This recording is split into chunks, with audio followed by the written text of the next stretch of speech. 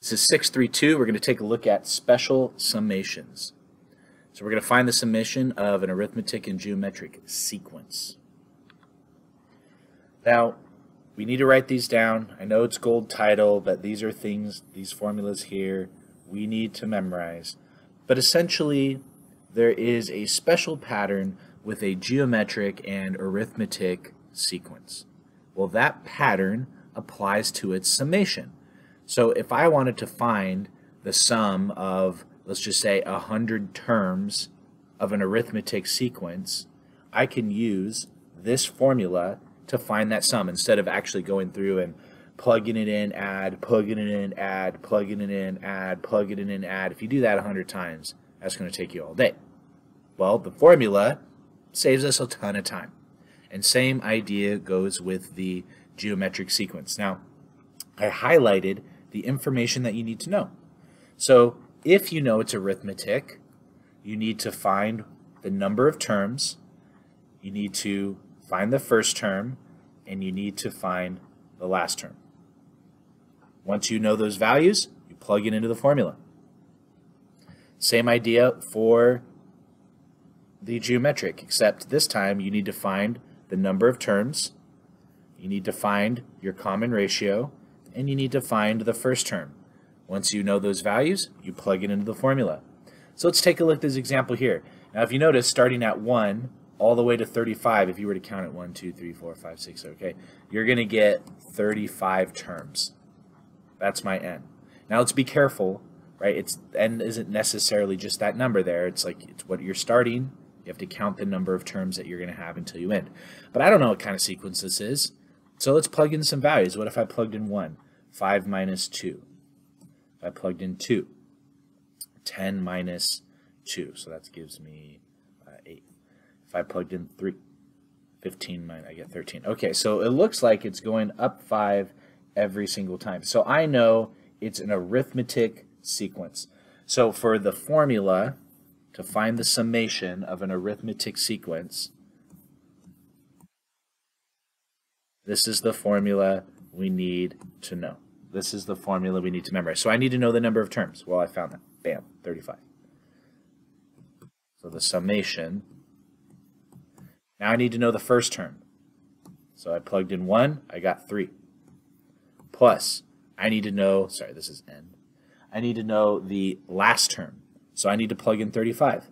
So 5 times 35 minus 2.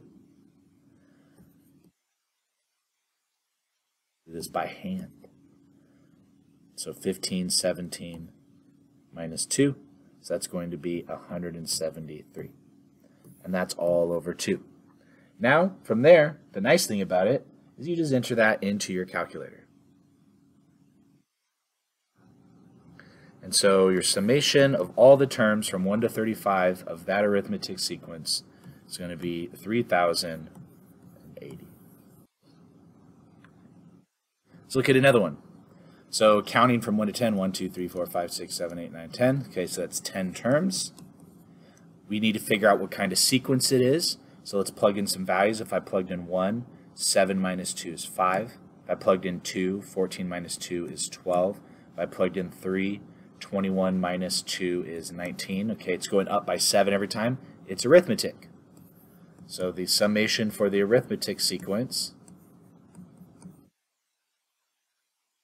is that. So now I need to know my n. So that's 10. My first term, already found it. My last term, plugging in 10, 70 minus 2 is 68. All over by 2. Now I just plug that into my calculator. Equals 365. The hardest part about this is just memorizing the formula. Once you know the formula, you just figure out the values and plug it in. Let's look at another one. So I need to figure out what kind of sequence it is. Okay, so plugging in 1, I get 4 to the 0 power, so that's 1. If I plug in 2, 2 minus 1, 4 to the first power, so that's 4. If I plug in 3, 3 to the 3 minus 1, so it's 2, 4 to the second power, okay, 16. So, okay, it's geometric because I'm multiplying by 4 every single time. Now from 1 to 7, My n is 7. Okay, so I know it's geometric, so the formula for the geometric is going to be a times 1 minus r to the n all over 1 minus r. You find the values, you plug it in. So I need to know the number of terms. Okay, I found that. n equals 7. I need to know the common ratio. What is it being multiplied by? My r is going to be 4. And I need to know my first term. In this case, it happens to be 1. So plug in those values in. 1 times 1 minus r to the n all over 1 minus r. And you know, safer to put that in parentheses. So now we just take that formula and we plug it into our calculator. So that's going to give me 5,461. Let's look at one more. Now, sometimes we can get our sequences like this. We need to know that if you're ever just multiplying by some random value, you need to bring that to the front because it can mess us up. So if I brought that out, just like we're bringing this outside there, from there, I can now go through and figure out the rest of my sequence.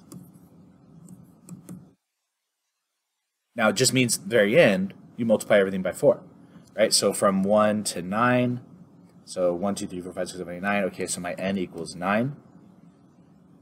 Plugging in some values to see what kind of sequence it is. So if I plug in 1, I get 3 to the 0. Okay, that's going to be 1. I plug in 2, 2 minus 1, okay, so that's 3. If I plug in 3, 3 minus 2, so 2 squared, or 3 squared, it's 9. Okay, it's geometric because we're multiplying by 3 every single time. So I'm going to use the geometric summation formula. So now I just need to know the pieces and plug them in. So I need to know my first term. Well, my first term is 1. Then I need to know the common ratio. Well, I multiplied by 3 every time. I need to know the number of terms. It was 9 minus my common ratio. So you enter that into your calculator, and then at the very end, you're going to multiply that by 3, or I'm sorry, by 4. And the reason why you're going to multiply that by 4 is because our summation has this 4 in front of it, right? So that 4 goes there. So we found the summation. This was that piece there, and it's just at the end we'd have to multiply by 4. So what did we learn today? We talked about the summations for the arithmetic and geometric sequence. The goal here, you memorize the formulas. Once you know if it's arithmetic or geometric, you find the pieces of information you need, you plug it in. This does conclude our lesson. If you have any other questions, please leave them in the comments.